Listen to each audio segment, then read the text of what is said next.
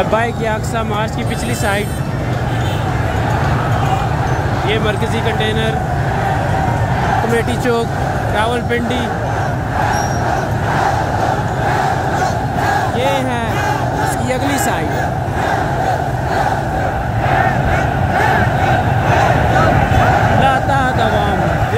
अवाम।